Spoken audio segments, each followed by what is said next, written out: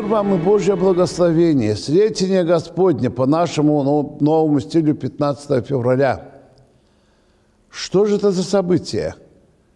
Как-то в народе бытует и поддерживают, так сказать, в доброй традиции наши все СМИ, когда касается зима-лето, там осень, еще чего-то, все это, конечно, наши бытовые, простые светские представления от давних времен.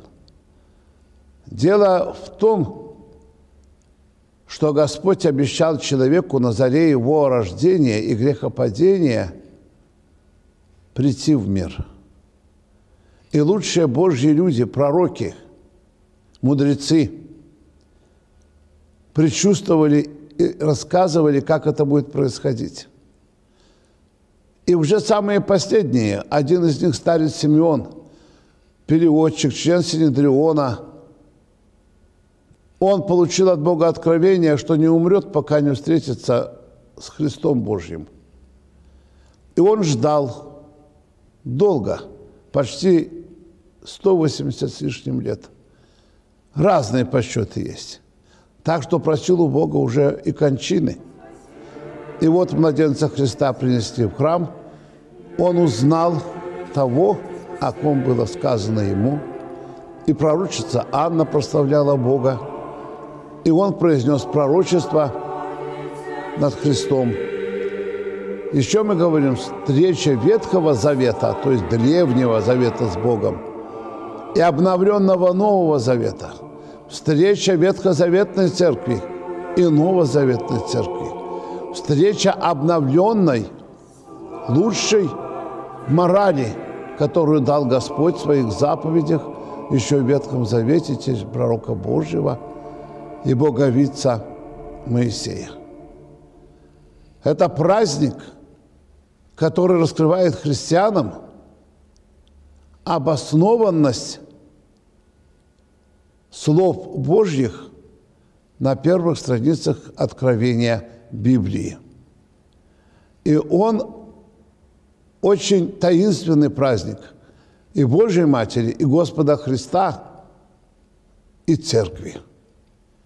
Поэтому встретение не встреча времен года, хотя можно и так сказать, а времен спасения – и обновления человечества через самую милосердную религиозную систему, которая заключается в христианстве. Почему у одних священников есть семья, а у других нет? Семьи в основном у всех, потому что православная церковь имеет очень строгое правило – мужчина-священник – получив призвание Духа Святаго, должен иметь семью, чтобы управлять своим домом, любить своих детей, чтить свою матушку и учить этому своих прихожан. И как гражданин должен все это выполнять. Но есть, как мы говорим, черное духовенство, монахи, посвящающие себя борьбе со своими, если с молоду, страстями внутренними – инстинктами, вырабатывающий качество добродетелей. И тот считается подвиг, и этот подвиг равны перед Богом. Но все они на добровольной основе. И ни один монах вам не скажет, черный священник, почему он стал монахом. Подчас только сердце его знает. Особое отношение с Богом и к Богу. Это великое таинство. В народе очень любят монашество. Но это и большая ответственность. Но церковь и ту форму жизни и образ благословенным считает, и другую, а не равноценный, равносильный и в то же время глубоко различны по человеческой личности и по исполнению своего подвига перед Богом. А результат один – спасение. Мужчина сменил фамилию в надежде на новую жизнь. Как к этому относится церковь? Никак не относится. А если сменил фамилию, ну, это добрая воля. Но род, если он понимает, что есть у него род, есть пращуры его, он не должен менять. В фамилии скрывается имя наших дедушек, бабушек, прабабушек, прапра, прапра, прапра. И ствол нашей генеалогии не пустой.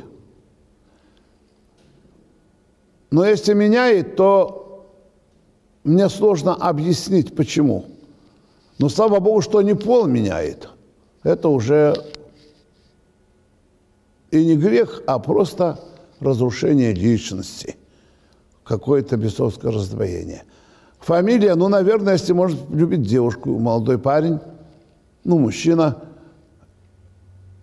и так решает принять ее фамилию.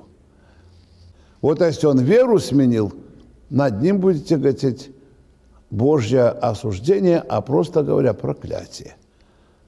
А фамилия, конечно, жаль, иногда теряются знаменитые фамилии и личности уже в потомках необъяснимая, я считаю, глупость менять свою фамилию. Мы связаны фамилией с началом нашего рода от Господа Бога. Не меняйте. Мир вам и Божье благословение. Все фамилии прекрасны. Они отражают, кто был гончар, кто был воин, пахарь, ученый, судья – как они вырабатывались. Это величайший дар Божий – память о самом себе и свидетельство, что мы достойны жить на этой земле.